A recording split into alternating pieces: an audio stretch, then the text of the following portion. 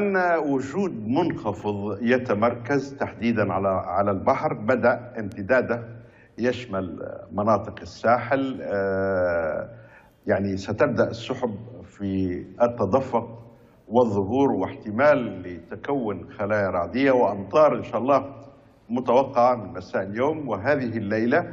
وأيضا آه، يوم الغد على المناطق الغربية. مناطق شرق ليبيا نتوقع أن يتحرك المنخفض تدريجيا باتجاه الشرق وغدا تصل هذه التقلبات وظهور السحب وأمطار متوقعة غدا على الساحل الشرقي. آه، فرصة الأمطار حتكون جيدة.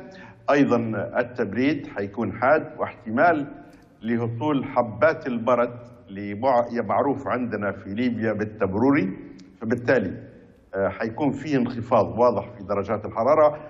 بالإضافة مع رياح نشطة باردة آه، على العديد من المناطق. هذا كوصف عام لحالة الطقس خلال هذه الليلة ويوم الغد وتستمر هذه الوضعية آه، خلال الأيام القليلة القادمة حيث ستتأثر بظهور السحب المنخفضة وأمطار حتكون متفرقة خلال الأيام القليلة نعم. القادمة. ما أكثر المدن التي ستشهد تساقط للأمطار وكم مليلتر متوقع أن يصل آه، معدل التساقط؟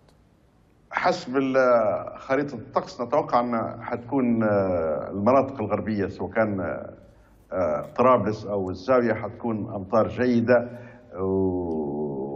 وحتكون ممكن حتكون سبب في عرقلة حركة السير نتيجة للتهالك الطرق و وعدم صيانتها وعدم توفير سيارات سحب المياه من البرك اللي ستحدث عبر هطول الأمطار يعني. نعم. ما الرسائل أو التوجيهات آه، التي توجهها للمواطنين في ظل حدوث هذه المنخفضات؟